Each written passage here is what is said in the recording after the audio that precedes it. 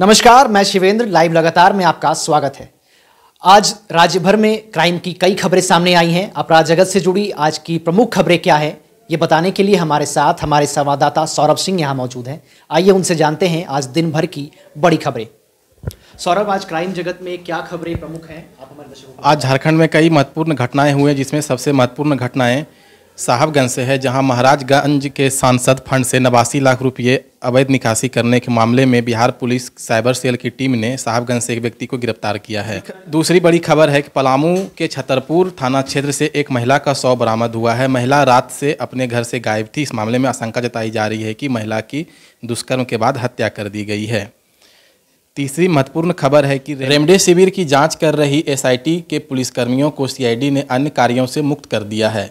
जाँच पूरी होने तक एसआईटी की टीम सिर्फ़ रेमडेसिविर की जाँच ही करते रहेंगे। भाकपा माओवादी 28 जुलाई से लेकर 3 अगस्त तक सही सप्ताह मनाएगी जिसको लेकर भाकपा माओवादी ने पोस्टरबाजी कर दहशत फैलाने की कोशिश शुरू कर दी है।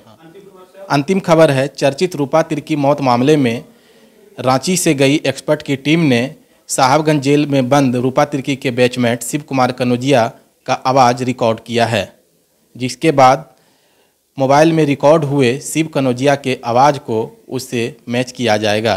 तो ये थी आज की प्रमुख खबरें। अपराध जगत से जुड़ी हुई और रोज़ाना इस वक्त हम आपसे मिलेंगे। इन्हीं खबरों के साथ जुड़े रहें लाइव लगातार के साथ। नमस्कार। न्यूज़ अपडेट के लिए आप हमारे चैनल को सब्सक्राइब करें। आप हमें फेसबुक और इंस्टाग्राम पर भी फॉलो कर सकते हैं। बने रहे लगातार डॉट इन के साथ।